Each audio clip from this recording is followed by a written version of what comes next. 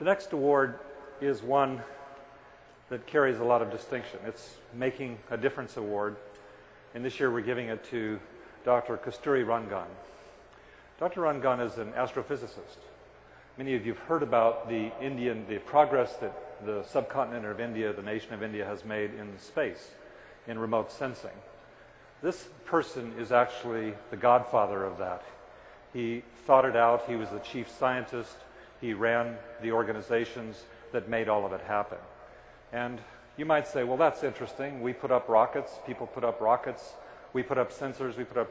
But that's not why I think he makes an enormous dis- difference. He makes an enormous difference. Maybe Dr. Curry Rangan, please come up here. He makes a difference because of the integration of remote sensing into GIS and also the tremendous focus that he's created on application. Nice to see you. It's a great day for me, too. Yeah. Uh, Doctor, that's not enough. Uh, he, he has run for parliament and is in the high parliament in India. And a couple weeks ago, we were anticipating giving you this award, and he spoke yesterday at our executive conference.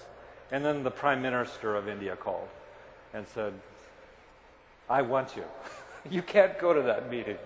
And uh, he wanted him because he wanted him to run national planning for the government of India.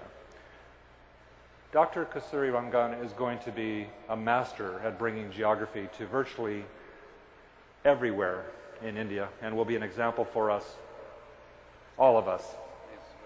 Thank you very much. It's my great pleasure to give you this. Uh, good. I will remember this day, a memorable day. I remember it too. Thank you. Thank you very much. Bye. May I say, Okay. He said he wants to say one word. Please, right here. One word. Jack's leadership is extraordinary. I have come in contact with him 15 years back. There has never been a looking back. I think he's a great visionary, a fantastic missionary, an extraordinary leader, and above all, an impeccable professional. Very good luck to you, Jack, and to all of you in making this technology and technique not merely a technology and technique, but making it a movement. At 10,000 gathering, it has become a movement. All the best. Thank you. Dr.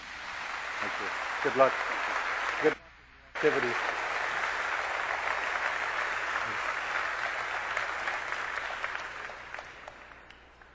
Dr. Kasturirangan will be around tonight. I think any of you even remotely interested in remote sensing uh, should, uh, should take a few moments and meet him.